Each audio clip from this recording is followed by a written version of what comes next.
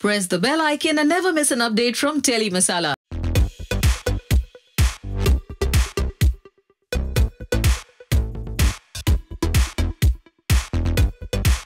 सो so, आज आप देख रहे हैं मैं काफ़ी इंटरेस्टिंग कपड़ों के आगे खड़ी हूँ।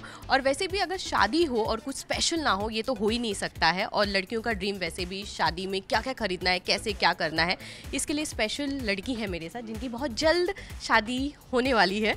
नेहा यहाँ पर मेरे ये इनका खुद का प्रिडिक्शन है। They have decided by themselves कि मेरी शादी होने वाली है। दो इट इज़ नॉट डिसाइडेड और शादी होगी वो पता है बट कब होने वाली है वो अभी तक डिसाइडेड नहीं अच्छा वैसे नेहा ड्रीम होता है लड़कियों का कि नॉर्मली कहीं भी जाती है तो हमेशा ये देखती यार अगर मेरी शादी होगी तो मैं ऐसे कपड़े पहनूँगी मैं मेहंदी में ये पहनूँगी यहाँ पे ये पहनूँगी। आज स्पेशली हम ऐसे ही जगह पे आए हैं। हाँ। तो यहाँ पे कुछ पसंद है मुझे यहाँ पे बहुत कुछ पसंद आ रहा है कुछ नहीं। मतलब मुझे ऐसे लग रहा है कि ओकेजन्स जो होते हैं वो हमें बढ़ाने पड़ेंगे। ऐसे हल्दी मेहंदी और तीन चार और ऐड कर देंगे कुछ भी क्योंकि इतने प्यारे प्यारे कपड़े हैं दो चार से काम नहीं चलेगा। तो हमें आठ दस कपड़े लेके और उसके लिए हम फ़ंक्शंस बनाएँगे कपड़ों के हिसाब से कि अच्छा ये कपड़ा है तो इसका ये फ़ंक्शन होना चाहिए। ओके तो ठीक है हम देखते हैं कि नेहा क्या क्या एटलीस्ट जब शादी करेंगी तब नेहा किस तरह के कपड़े पहनेंगी ये तो हम ज़रूर देख लेंगे। ओके हाँ। सो मुझे यहाँ पर जो है ये वाले ड्रेसेस पसंद आए हैं ज़्यादा। This is also very nice but I like this is very pastel shade now so I like all these colours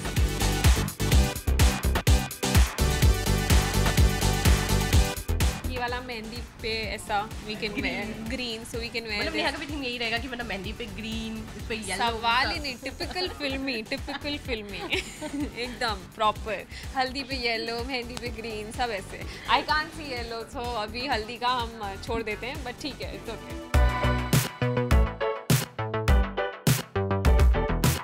Neha ये कह रही है कि यहाँ पे येलो कुछ नहीं है पर मैं येलो यहाँ पे ढूंढ के निकालती हूँ। और बाकी हम सबसे पहले फ़र्स्ट ड्रेस देखेंगे कि नेहा क्या पसंद करती है।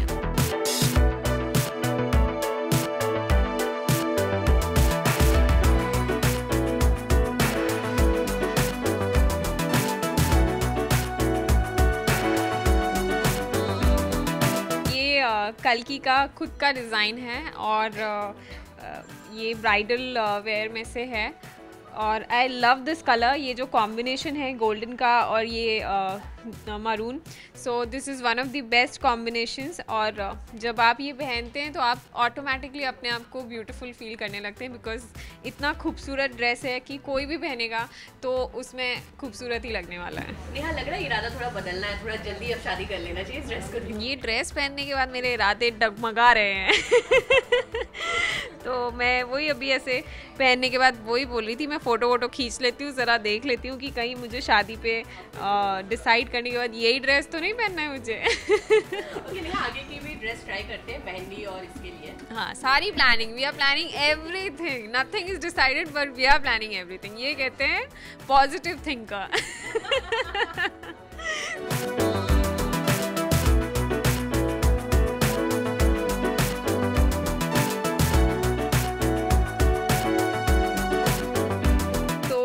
हमारा फुल ऐसे फुल गोल्डन वर्क है।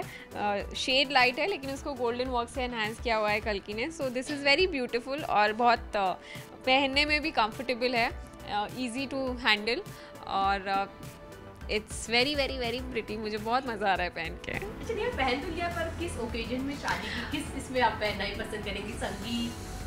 वो वो डिसाइडेड नहीं है पता नहीं। या I think we can wear this on sangeet because sangeet के लिए ऐसे कोई पर्टिकुलर कलर नहीं होता। You can wear anything generally mehndi uh, पे ग्रीन पहनते हैं हल्दी पे येलो पहनते हैं। सो संगीत हैज़ नो कलर तो हम ये संगीत पे पहन सकते हैं। This is very sangeet kind of lehenga.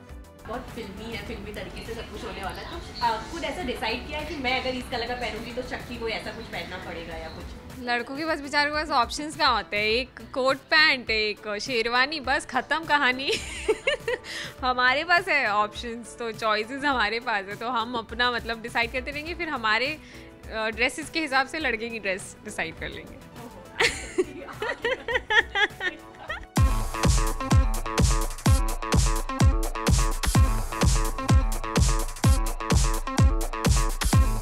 Sari इन्होंने दिखाई which I like for my mom तो uh, ये मैं उनके लिए ले सकती हूँ और uh, मेरे फ्रेंड की शादी में वो भी चलने वाली है मेरे साथ uh, मेरे बेस्ट फ्रेंड की शादी है अभी। तो for my mom I am gonna buy this और for me I am gonna buy I don't know अगर साड़ी की बात करें या किसी भी चीज़ की बात करें तो सबसे ज़्यादा कौन सा ऐसा कलर है जो सबसे ज़्यादा पसंद आता है? I love pink all shades of pink मुझे पिंक के सारे शेड्स बहुत पसंद हैं। तो पिंक है और वाइन कलर वाइन कलर भी बहुत पसंद है मुझे। सो so, हाँ ये इंडियन में ये सारे कलर्स अच्छे लगते की हैं बात करें तो कौन सा कलर शक्ति को पसंद है? मेरे ऊपर कि उसके ऊपर? अच्छा उसके ऊपर? I think he likes blue and he likes black and grey is also is new favourite I think yeah